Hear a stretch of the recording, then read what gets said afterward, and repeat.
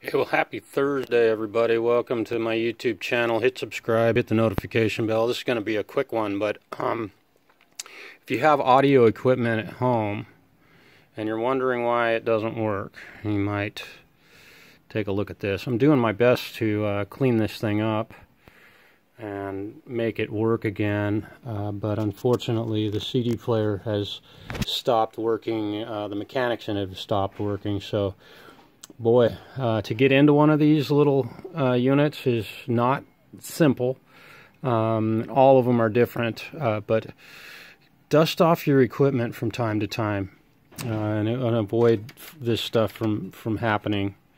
Uh, and your machine will probably work for a long, long time. This thing's probably, I've got to say, this is 15 years old, um, at least.